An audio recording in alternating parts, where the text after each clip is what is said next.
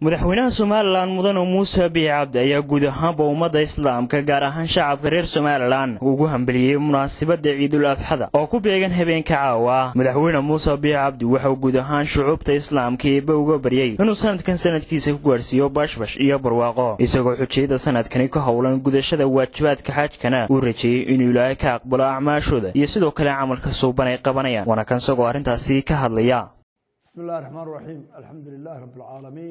ilaahay waa mahad leh.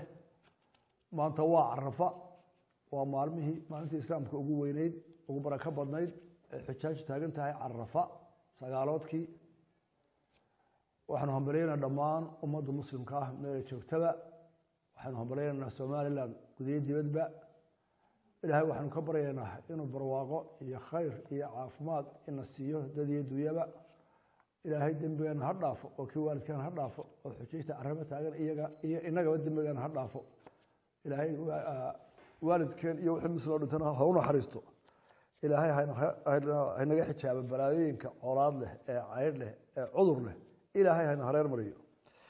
Ilaahay khilaaf iyo khalkhal haynaga hayo. Dalkeenna iyo dadkeennaba alla ha barakeeyo ilaahay waxaynu ku rajaynaynaa sanadkaa sanadkiisa.